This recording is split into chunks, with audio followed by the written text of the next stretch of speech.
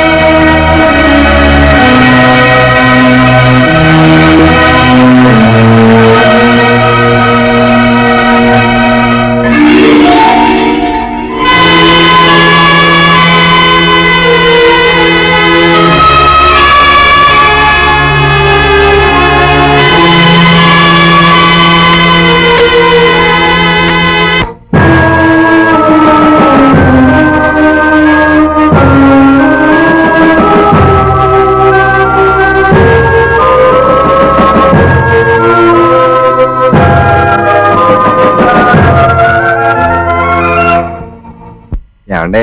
నువ్వు రా నన్ను ఊరెప్పుడు పంపిస్తారండి? అంతర్వేది తీర్థం వచ్చేస్తుందండి. ఆ, అంతర్వేది అడవి పాలెం తర్వాత. ఇక్కడుండి ఈ టాబ్లెట్లు ఇంకా ఐదు రోజులు వేసుకోవాలి. అంటే ఐదు రోజులు నేను ఇక్కడ ఉండాలా?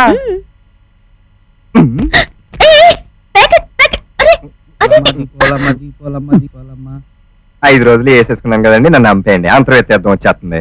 పది ట్రిప్లు వేసానంటే వెయ్యి రూపాయలు వస్తాయి. సంవత్సరం పొడుగు ఊతే సరిపోతాయా? నిజం చెప్పు. నువ్వు అంతర్వేది తీర్థమని వెళ్తున్నావా? లేకపోతే వాళ్ళందరినీ తెగ నరకడానికా? చెప్పు. అంతర్వేది కాదు.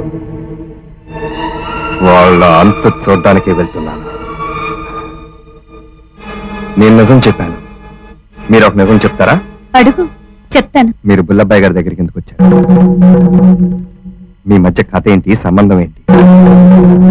మీరు బాగుండటం ఇష్టం కాబట్టి అడుగుతున్నాను. మీకు ఇష్టమైతేనే చెప్పండి.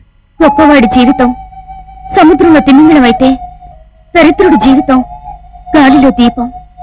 కానీ మధ్యతరగతి జీవితం ఒడ్డున పట్ట చేప లాంటిది.